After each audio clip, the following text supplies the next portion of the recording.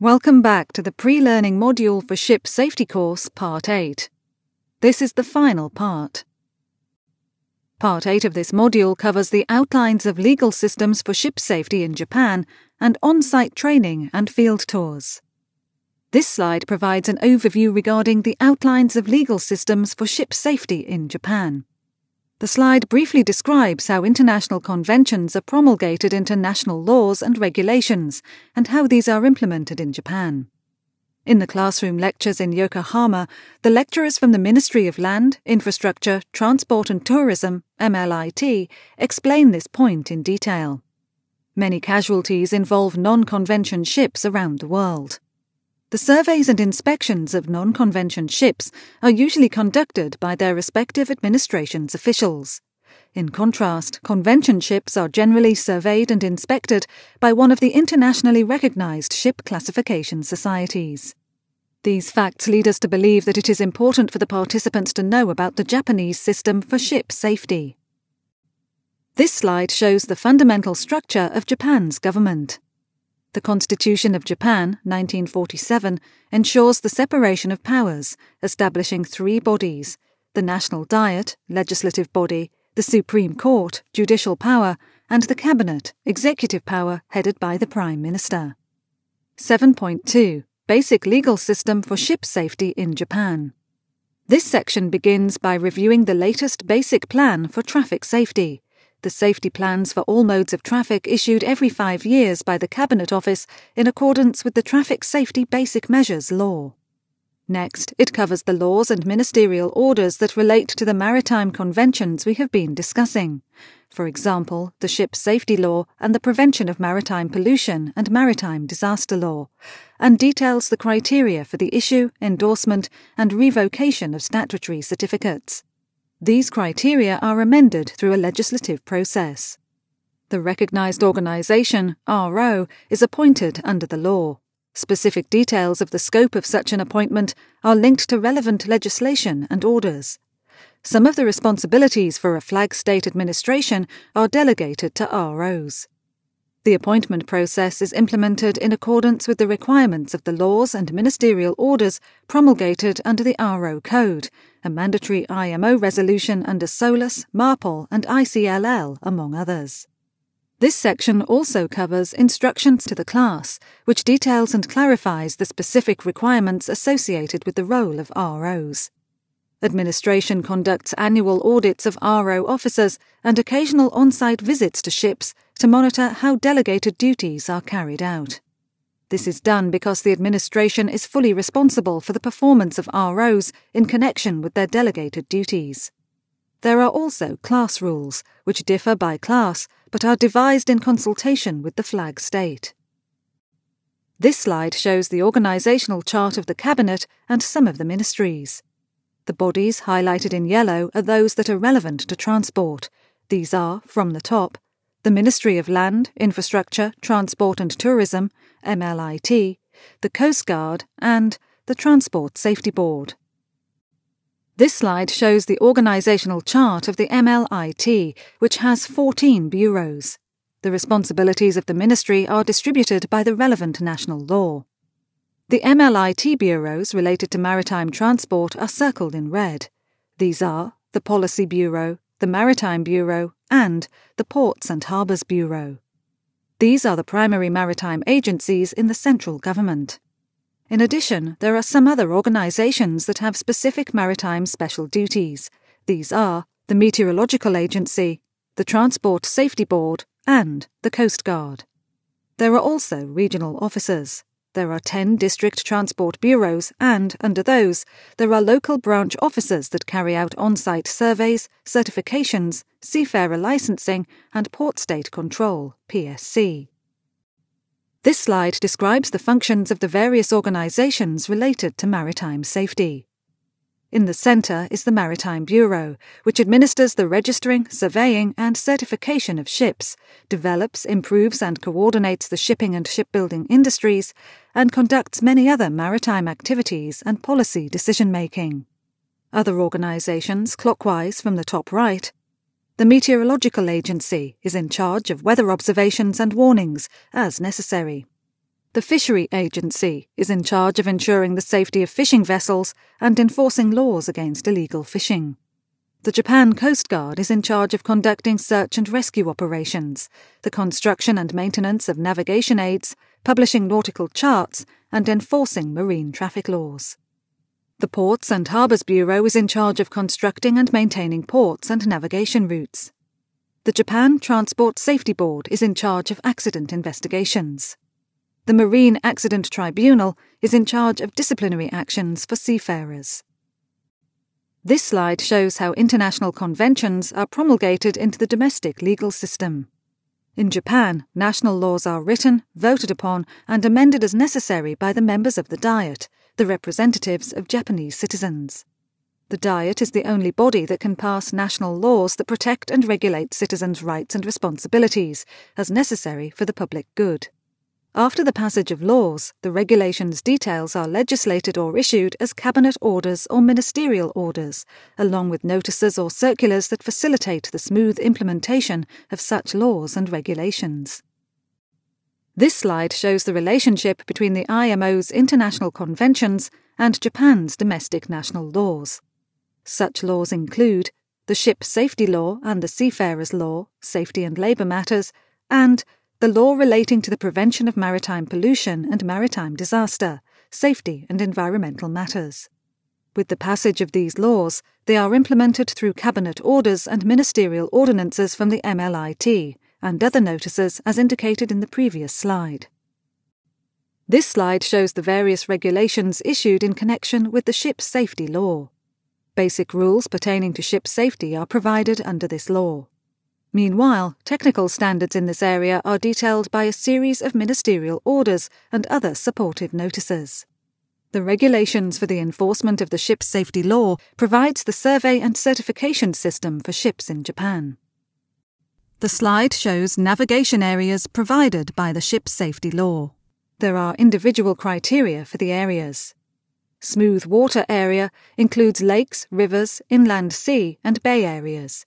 They are sheltered waters with relatively calm weather. Coasting area is the area within 20 nautical miles from the nearest coast. Greater coasting area is the square area bounded by 63 degrees north and 11 degrees south latitude and 94 degrees east and 175 degrees east longitude.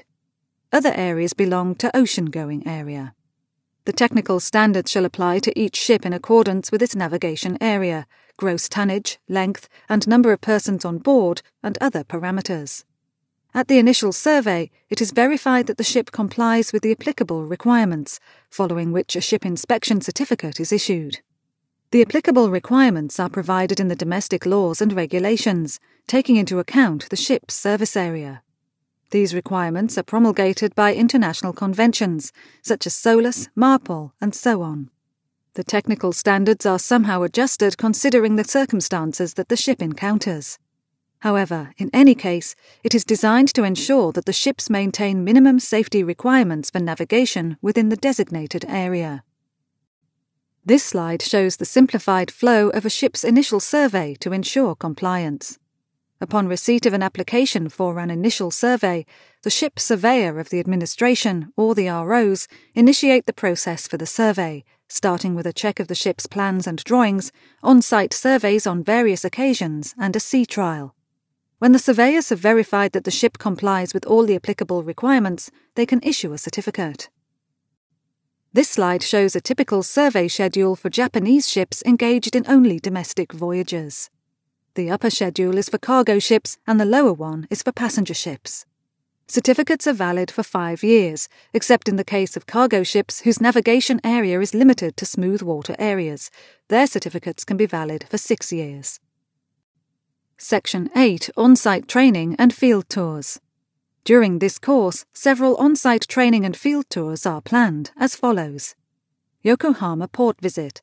There will be a boat cruise in the port of Yokohama, carried out with the cooperation of the Yokohama City Municipal Government. The staff of the responsible bureau will discuss the facilities and the history of the port. Marine International Company Limited visit. This is a certified service station approved by the Japanese government and other ship classification societies as a maintenance service provider of ship components and life saving appliances, including inflatable life rafts, rescue boats, marine evacuation systems, and various Global Maritime Distress and Safety System GMDSS items. The relevant technical staff will explain how they work. The National Maritime Research Institute NMRI visit. The NMRI is Japan's primary research center for marine research and technologies. It possesses world class experimental facilities and has over 170 researchers. This slide shows photos of the facilities, which include one of the world's largest towing tanks, various model basins, a navigation simulator, and so on. During the tour, the researchers will discuss the facilities and their research work. Kamome Propeller Company Limited visit. This is one of Japan's leading propeller manufacturers, located in Yokohama. The photo shows a controllable pitch propeller, one of the company's main products.